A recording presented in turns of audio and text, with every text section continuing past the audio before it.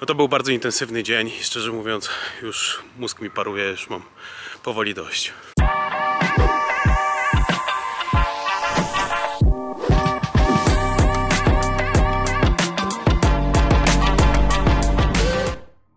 Cześć i dzień dobry w piątek. My już dzisiaj jesteśmy po dwóch dość długich takich sesjach strategicznych, tak naprawdę, żeby ustalić pewne kroki i działania, które są konieczne do tego, żeby domknąć rundę, a jednocześnie też posprzątać bałagan, który gdzieś tam nam się pojawił.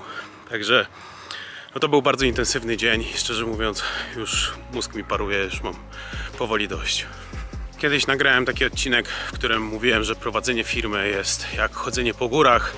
Raz jest łatwiej, raz jest ciężej, raz y, są przeszkody mniej wymagające, raz bardziej wymagające. Natomiast dzisiaj mam taką metaforę i skojarzenie, że prowadzenie i rozwijanie firmy to jest również trochę taka gra w Tetrisa.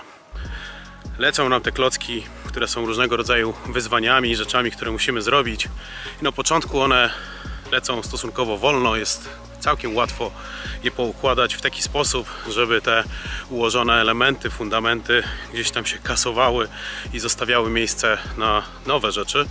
Natomiast im dalej jesteśmy, im bardziej zaawansowani jesteśmy, tym te klocki zaczynają spadać coraz szybciej, coraz trudniej jest je wpasować w odpowiednio krótkim czasie w taki sposób, żeby e, osiągnąć rezultat.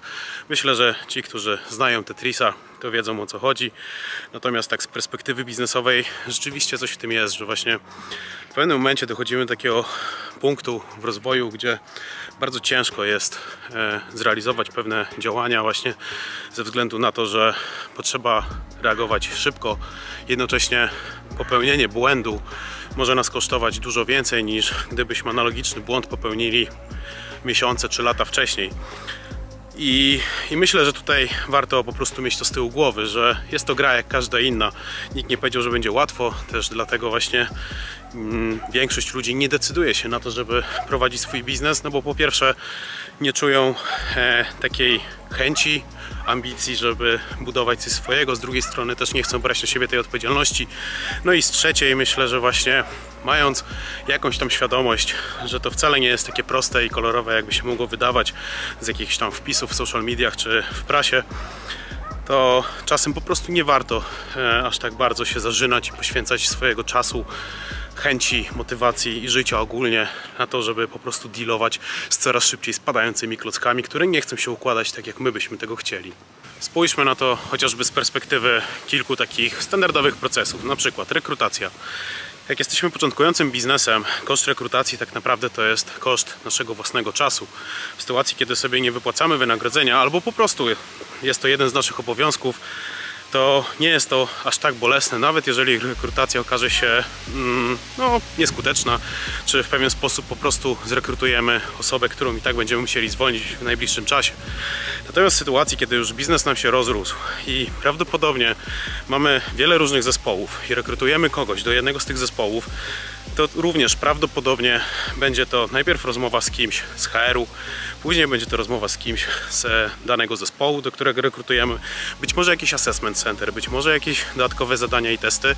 Generalnie angażujemy więcej ludzi, więcej czasu w to, żeby znaleźć tego najlepszego, bo nie chcę mówić idealnego kandydata. To z kolei kosztuje nas dużo więcej, jeżeli się okaże, że jednak źle wybraliśmy i to jest osoba, z którą się będziemy musieli pożegnać, na przykład po okresie próbnym, no to tak naprawdę całkiem sporo pieniędzy mamy wyrzucone w błoto i musimy zacząć proces od nowa. Patrząc na to z jeszcze na przykład innej perspektywy, czyli nie wiem, przygotowania umów, chociażby właśnie do zawarcia z takim pracownikiem.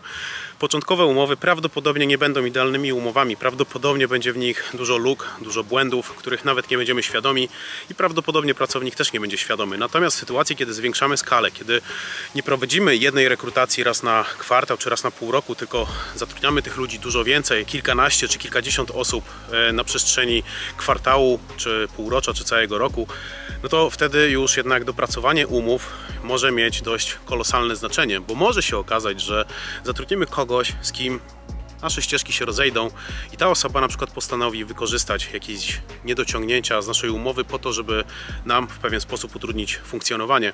W związku z tym tutaj również e, jakby koszt poniesionych potencjalnych strat e, w przyszłości będzie dużo większy niż na samym początku, kiedy rozwijaliśmy, budowaliśmy nasz biznes od zera.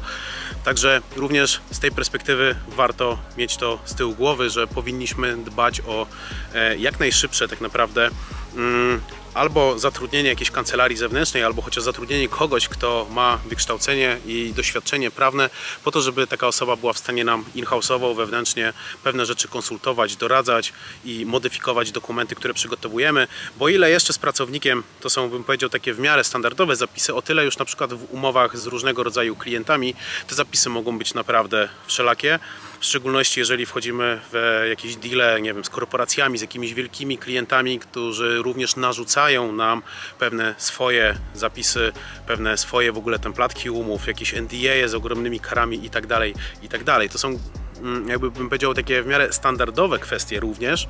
Nie należy się ich obawiać, ale z drugiej strony też nie powinniśmy podpisywać wszystkiego po prostu jak leci, tylko po to, żeby zdobyć klienta, bo może się okazać, że właśnie w jakimś takim czarnym scenariuszu to może być dość dotkliwa kara dla firmy, dla ludzi, tak naprawdę dla wielu osób, które miały na to wpływ, że dany dokument został podpisany. No i też można spojrzeć na to wszystko z perspektywy marketingu, komunikacji. Jeżeli zaczynamy, prawdopodobnie nikt nas nie zna, mam na myśli i nas jako ludzi i brand, a nawet jeżeli my jesteśmy rozpoznawalni, bo już mieliśmy jakieś dokonania i sukcesy na koncie, o tyle prawdopodobnie o naszej firmie mało kto słyszał. W związku z tym, jeżeli popełnimy jakieś błędy, mm, zrzucimy jakiś głupi post gdzieś tam w social media, który no, odbije się negatywnym echem, będzie nam dużo łatwiej posprzątać cały ten bałagan, bo po prostu e, jakby ludzie nie będą kojarzyli mm, tego, kim my jesteśmy, w ogóle zapomną tak naprawdę, że taka sytuacja miała miejsce. Co innego, jeżeli już osiągamy jakąś pozycję. Jeżeli jesteśmy rozpoznawalnym brandem i rzucimy coś, co będzie zbyt kontrowersyjne, albo po prostu będzie, nie wiem, dyskryminowało jakąś grupę ludzi, czy jakkolwiek inaczej, rynek odbierze to negatywnie, no to wtedy te konsekwencje już mogą być dużo większe. Łącznie z tym, że po pierwsze zbierzemy e, dużą falę hejtu w internecie, co może przełożyć się na wyniki sprzedażowe, ale również w takich, już bym powiedział, najgorszych przypadkach to mogą być nawet jakieś zgłoszenia, czy do jakiegoś łokiku, czy do innych instytucji, które również e, nadzorują i pilnują firmy pod kątem tego, w jaki sposób one postępują i w jaki sposób współpracują z ludźmi, z firmami, z partnerami i tak dalej.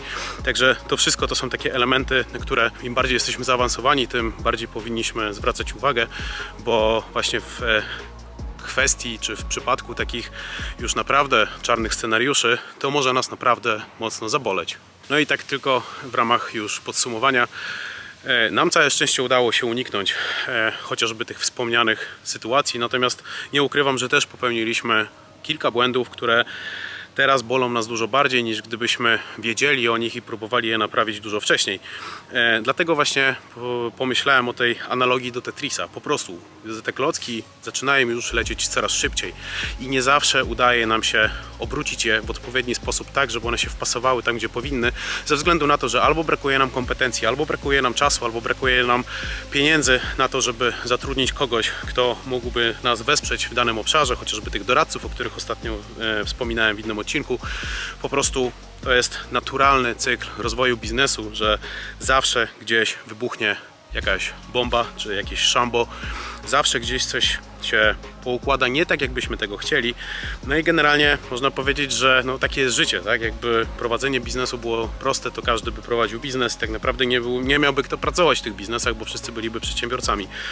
Natomiast warto mieć tego świadomość, że życie to nie jest właśnie okładka Forbesa i różnego rodzaju artykuły, gdzie po prostu wszyscy wypisują peany na naszą cześć i jacy to my nie jesteśmy super ekstra zajebiści, bo pod każdym sukcesem, mniejszym, większym, kryje się całe mnóstwo błędów i problemów, które gdzieś tam dany biznes napotkał i, i founderzy muszą po prostu rozwiązywać te problemy. Na tym polega tak naprawdę nasza rola.